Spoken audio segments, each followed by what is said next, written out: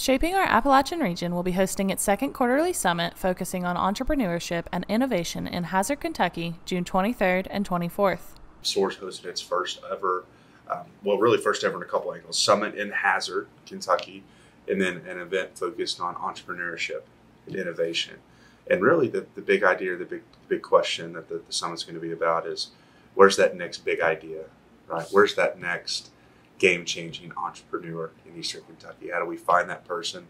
How do we develop that person? How do we identify that person early on, you know, in middle school, high school, right? And then how do we as a community and as a region surround them with eh, an ecosystem, right? From funders to technical assistance providers, people that can provide them resources, whether that's legal or you know, business planning. And we have a lot of those pieces in place. So you know, in this SOAR's trying to do what we do best, which is to get the right people in the right room. We are Pikeville Medical Center, and we are an amazing place to work.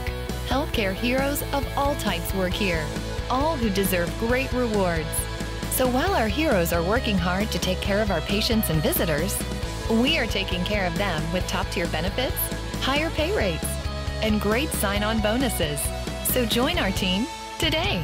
So, what are you waiting for? Apply today.